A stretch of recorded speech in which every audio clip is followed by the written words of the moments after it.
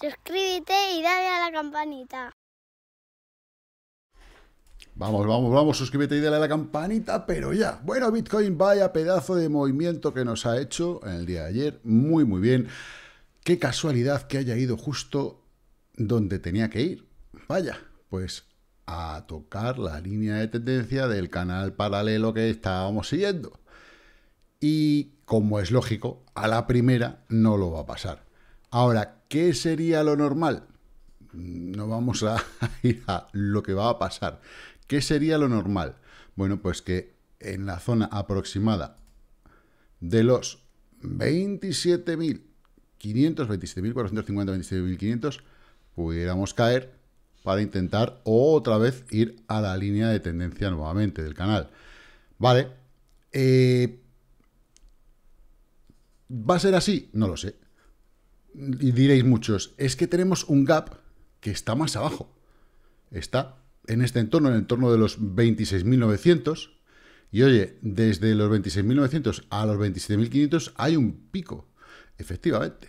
Pero recordar que los gaps no tienen por qué cerrarse Primero, ni el mismo día, ya lo hemos visto ayer. Y eh, segundo, pueden pasar varios días, no cerrarse nunca. Hombre, este sabemos, o yo creo que se va a cerrar bastante rápido, eh, o relativamente rápido, a no ser que lleguemos, caigamos aquí, rompamos el canal y nos vayamos para arriba, pues ya se cerrará en su momento.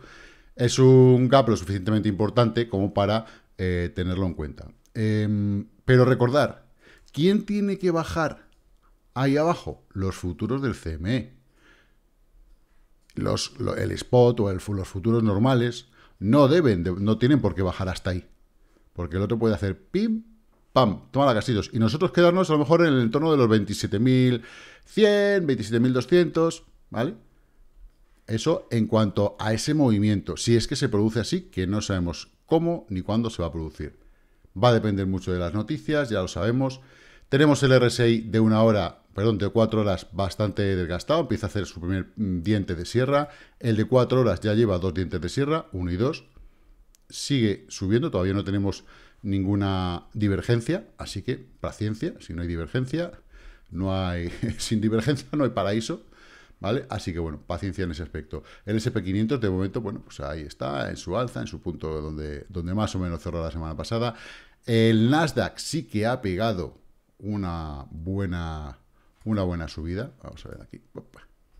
El Nasdaq 100, fijaros que lleva un pepinazo de un 2,5 tecnológicas y tenemos ese gap abierto aquí en la parte, en la parte inferior. Vamos a vernos en 4 horas, pues si no parece que estamos mucho más allá. ¿Vale? Entonces, bueno, mm, ahí tenemos ese gap en el Nasdaq, pero fijaros cómo aquí tenemos un gap que no se ha cerrado. ¿Veis cómo no se tienen por qué cerrar los gaps? Y es un gap que está muy cercano, o sea, vino e intentó cerrarlo, pero no cerró. Muchas veces simplemente el tocarlo ya vale. Por eso tenemos uno nosotros en 9600 que la gente dice, hay que cerrar ese gap. Primero, es un gap muy pequeñito y segundo, es un gap medio cerrado. ¿Vale? Hay que fijarse bien en los movimientos. Eh, por otra parte, ¿qué más tenemos? Tenemos el BLX que con la vela de ayer nos dijo, hey, hemos subido un montón, pero el volumen, oye, alto, lo que se dice alto, no está. Si nos vamos a datos semanales, Oye, pues la semana no ha estado absolutamente nada mal, pero joder, ¿dónde nos hemos quedado? En estos cierres, ¿veis? estas velas que tenemos aquí, nos hemos quedado justo en esa zona, previo a atacar esta otra vela completa.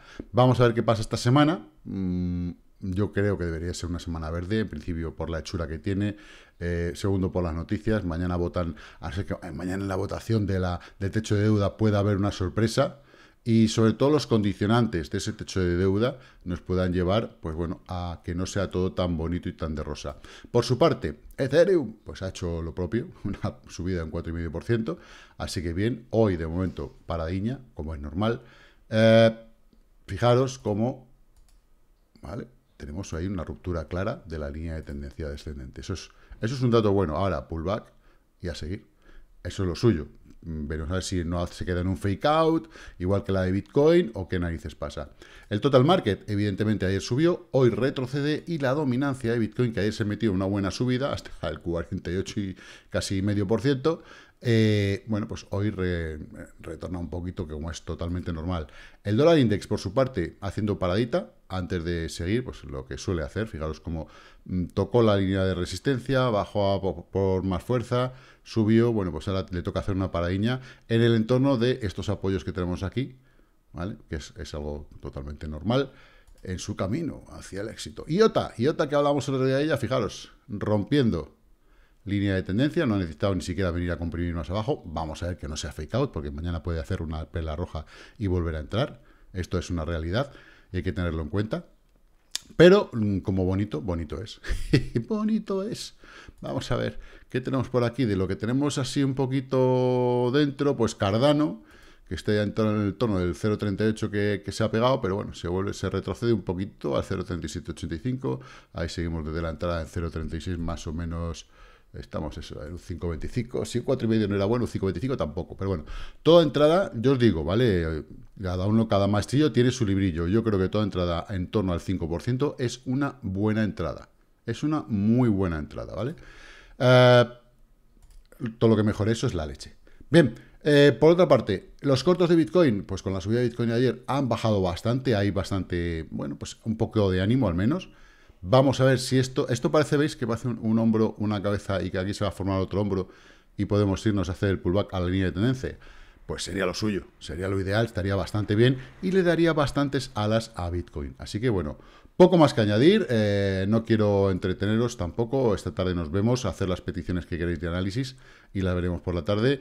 Y bueno, pues lo que digo siempre, invertir con mucha cautela y que la paciencia os acompañe. Chao, chao.